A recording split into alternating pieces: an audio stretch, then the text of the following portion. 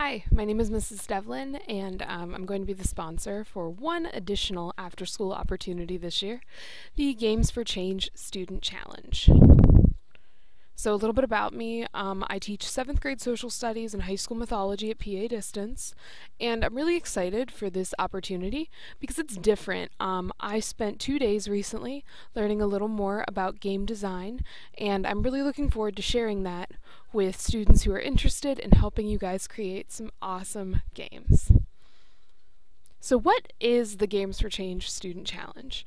This challenge is a national game design competition that encourages both middle and high school students to create digital games that solve real world problems. We'll be working with three issues um, and creating a web based game on that. Students who choose to participate in the club are going to learn the basic elements of game design and how to create and modify games using tools like Scratch, which is a website, and GameStar Mechanic, which is another game creation website.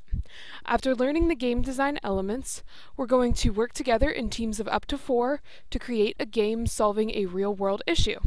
And the best part, the final products can be submitted to a national contest where there are some pretty stellar prizes.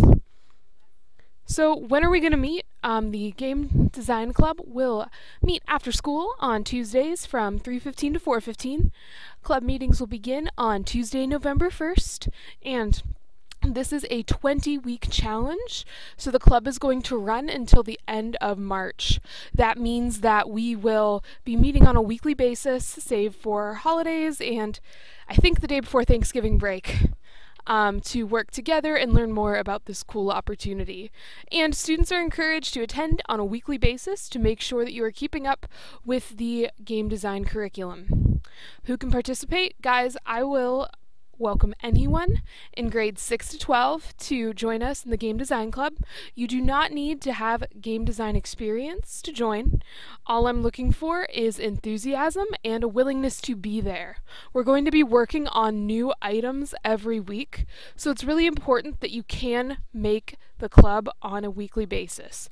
If you can't make it, you might not be able to create the best possible game at the end.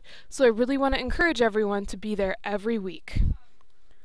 A little bit about the challenge. We'll go over this more in our first meeting.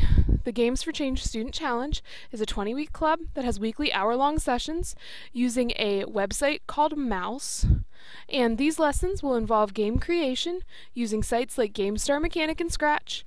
And we're going to use these lessons to create a game based on a real world issue. And the themes this year for the final product games are local stories and immigrant voices, climate change, and future communities. We'll explore more about that later. But for now, if you're ready to play and join us, um, please join me at 3.15 on Tuesdays starting November 1st. If you have any questions between now and then, please call me or please email me. My email is katie.devlin at padistance.org, or you can call me anytime. Um, I'm in the office 7.30 to 3.30 at 888-997-3352, extension 146. And I hope to see you at our first meeting. Thanks for listening.